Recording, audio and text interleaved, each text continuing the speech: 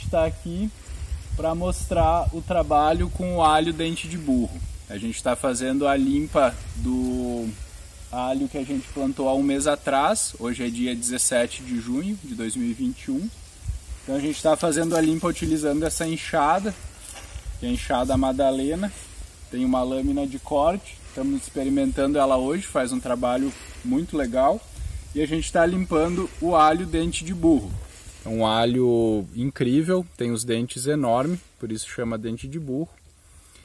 À tarde a gente vai trazer a serra pilheira da floresta aqui do lado da agrofloresta para fazer a cobertura desse canteiro.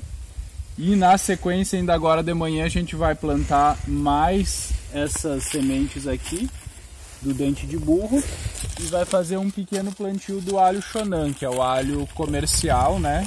Mas a gente cultiva no modelo agroecológico aqui. Essa área aqui foi feito o plantio aonde a gente colheu o amendoim da safra de verão. A terra não foi revolvida, foi colocado diretamente o alho aqui nesse espaço, né? No restante da área a gente semeou a aveia e também é, podou os eucaliptos que fazem as linhas aqui para fazer a cobertura do solo e também vai usar depois para cobrir essa parte já dominou o céu e também o fundo do mar. E ainda acredita em Deus, vai pro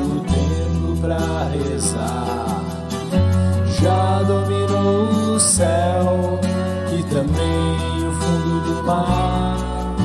E ainda acredita em dinheiro, gasta a vida pra comprar.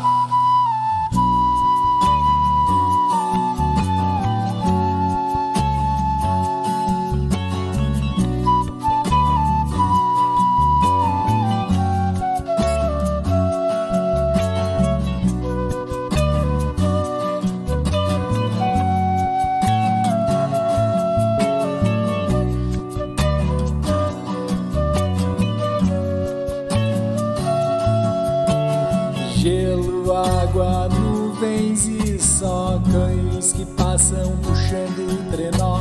Será que tá tão frio que não dê pra suportar?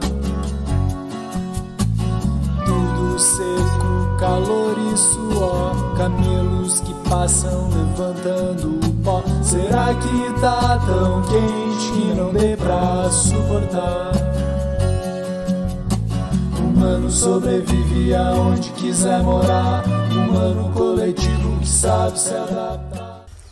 Hoje, dia 1 de dezembro de 2021, nós estamos fazendo a colheita do alho dente de burro. Agora esse alho vai ser levado para o galpão, onde ele vai passar por um processo de secagem e será pendurado para que ele possa ser consumido e comercializado durante o ano. Música